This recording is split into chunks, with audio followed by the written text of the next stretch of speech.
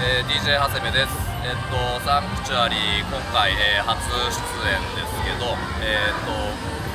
まあなんかこう先クラブとかに行けないこうねあのお子さんがいるご家族とかもなんか遊びに来れて